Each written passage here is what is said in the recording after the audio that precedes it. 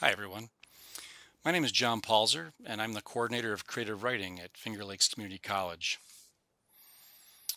Are you someone who likes to write stories, writes poems, or writes essays, or things you don't even know what they're called? Maybe you write them in your journals, type them up. Perhaps one day you imagine yourself writing a great novel. You want to be the next Stephen King, or write the next Game of Thrones. Maybe you're interested in how you can use language to express the world and the way you see the world in new and fresh and imaginative ways. You might be interested in how your own voice can have an impact on other people, other readers, and an audience. Well, we can help you do that here at the Finger Lakes Community College Creative Writing Program. We do a number of things for you. We help you to inspire your imagination, we help you to generate material for your stories and poems. We help you to learn how to speak to one another about what makes art. We help you to revise and polish your work, to understand how to make it best fit into an audience's experience. So what will you do here if you decide one day to come to school at Finger Lakes Community College and study creative writing? Well, you'll have an opportunity to take a number of classes that we call workshop seminars. It's a chance for you to sit in a circle at a table together with your classmates and your professors to study three primary genres at this point. You can take classes in fiction writing, poetry writing, creative nonfiction writing, and in time, we hope to offer specialized courses in the genres. Maybe we'll offer courses in writing fantasy or writing the Western or the mystery novel. In this circle, we will sit down and share our work with one another, and we will offer constructive criticism and critiques on how an audience is receiving the material, how you can best make it exciting or moving, emotionally impactful. You will then have the opportunity to revise this material, and in time, Sit down with your instructors and get some one-on-one advice in addition to the time in the classroom and how to polish your writing so that it is the best piece of material you can offer to an audience. You'll be taking literature courses. It's impossible to become an effective writer if you're not a good reader. A reader that gets a background in a number of different genres, whether it's the short story, whether it's poetry, whether it's the novel, whether it's very specific time period courses, Maybe it's contemporary poetry of the early part of the 20th century. Maybe it's the short story of the past 10 years. Maybe it's simply introduction to literature. It'll be a number of these things actually, and it'll give you a chance to study how other writers create their material and become the writers they are. You will learn from what others do.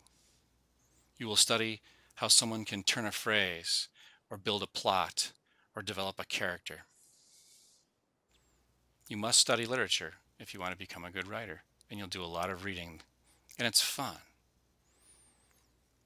You can take courses in our honors seminar, very specialized courses, courses on such figures as Harry Potter, uh, such courses as fantasy writing, such courses as what it means to study how a pandemic affects how we think and feel in the contemporary age.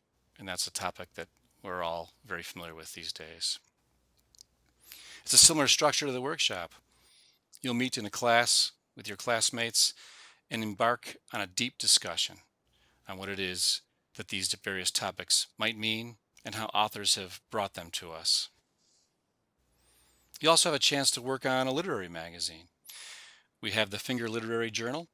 It's an international journal where we accept writing from writers from all over the country and all over the world and from our students as well.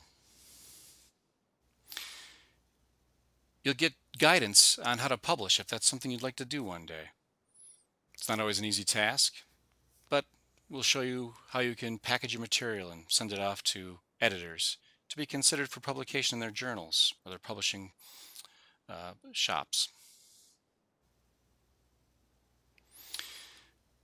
We have internship opportunities as well a chance to work at such places as Boa Editions and Writers and Books, both in the city of Rochester.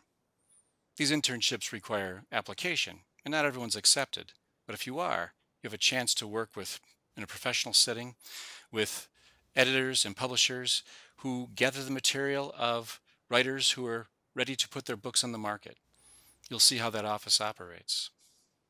Or you'll have a chance to work in the marketing and publishing areas, assisting the marketers and publishers with putting together their materials to promote their readings or their upcoming events.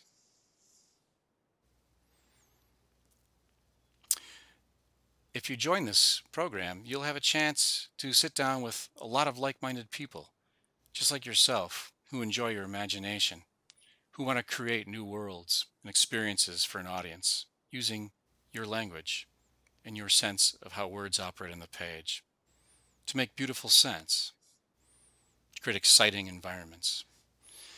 These like-minded people will all be part of a community that you can get to know over time, move through the program together with, and make deep friendships with, help each other become successful writers. It's comforting to know that there are others like you out there. Sometimes they're hard to find, but in this program, everyone will sit down together with the same goals and the same desires and the same sense of inspiration. It's good to get to know these people. They'll become your lifelong friends. What else can you do with a degree in creative writing, you might ask? And I'm sure moms and dads are probably wondering this too, right? Well, to break into the writing world is no easy task. Not everyone's going to be Margaret Atwood. Not everybody's going to be Stephen King. Not everyone's going to be Ann Patchett. But there are other things that a degree like this can prepare you for. It's a two-year degree, right? It's a transfer degree. And so it'll set you up for an experience as perhaps an English major, perhaps a teacher. So you can transfer to four-year colleges.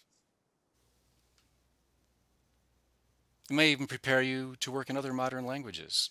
Study of language and the careful sense of writing is useful in all languages. Maybe you'll move on to a degree in French, a degree in Spanish, degrees that we offer here as well. Maybe you'll become a teacher. Educators need to know how to command language very successfully and effectively. They know they need to know how to uh, put together their lesson plans. They need to know how to move their students how to engage them, their intellect and their imagination. Maybe you'll go into marketing or advertising. A lot of people graduate with their Masters of Fine Arts in Creative Writing and go into the world of advertising. Trying to find ways to convince people that you have the product for them or that you are trying to market uh, a charitable office. All kinds of ways that language can be used to get people to see things that you believe are important and to understand how they can be managed in their own life. Maybe you'll go into business. Many of our students are reluctant to think about writing as being practical outside of, say, an English major or a teacher. But right here in Canandaigua, many of our local businesses tell us quite regularly that what they want to see in their employees are strong writing skills skills that can move and have an impact upon an audience, that can convince their own employees to become better, more motivated uh, workers. And maybe you'll go into law. Law is a degree and a profession that bases itself on the use of language, often very difficult language. By studying creative writing, you will look at all the nuances of how language operates you will look at how somebody can actually manipulate the way you understand the world using language, can develop arguments that in some way will convince people of what is right or wrong in our lives. And so I encourage you to think about a degree in creative writing at Finger Lakes Community College. It's a lot of fun. And uh, don't spend one moment thinking that your imagination is not worthwhile. It's everything, no matter what you choose to do. So an AA degree in creative writing can lead you toward whatever you'd like to do. Because whatever we do requires careful, effective speech and strong moving writing skills. So, thanks for listening, and maybe we'll see you in the future. I sure hope so. Again, my name is Jon Palzer, coordinator of creative writing. Thanks for listening to me, everybody.